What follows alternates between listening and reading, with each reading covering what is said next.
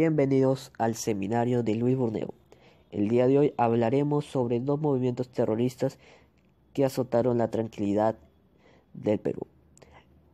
El día de hoy hablaremos sobre el MRTA, Movimiento Revolucionario Tupac Amaru, que fue una organización guerrillera y terrorista peruana de corte comunista, fundada en 1984 y fue parte de la época del terrorismo en el Perú a partir de 1980 hasta el 2000.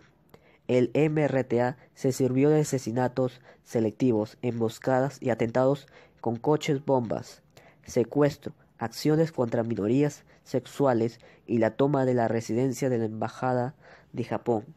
El MRTA fue liderado por su fundador Víctor Polay Campos, hasta su captura y encarcelamiento en julio de 1992, secundado en la línea de mando por Peter Cárdenas, jefe de los llamados comandos especiales del MRTA.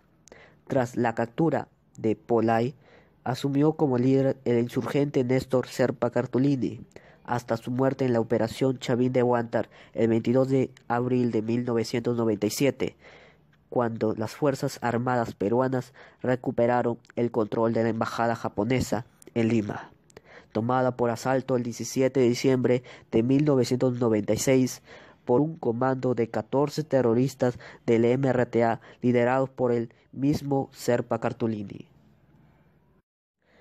Origen del terror MRTA la historia de los movimientos subversivos del país, como es el caso del MRTA, que remonta sus orígenes a una decisión sufrida por el Partido Aprista peruano a fines de la década de 1950, cuando un núcleo de jóvenes militares encabezado por Luis de la Puente se alejaron de ese partido disconformes con el abandono de las tesis radicales primigenias.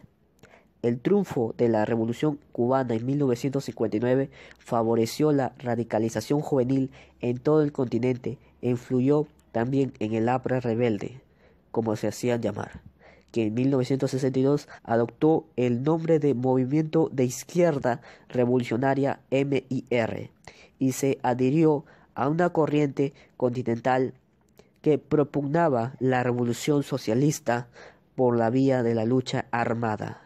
En junio de 1965, el MIR desarrolló una breve experiencia guerrillera que terminó con la muerte de Luis de la Puente Uceda y sus principales dirigentes en los meses siguientes.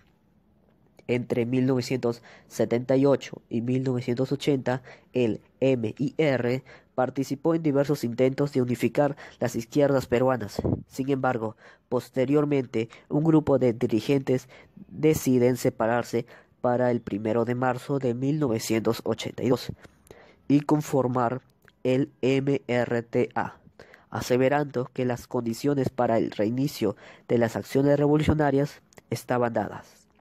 En enero de 1984 se llevó a cabo el Comité Central del MRTA en Lima.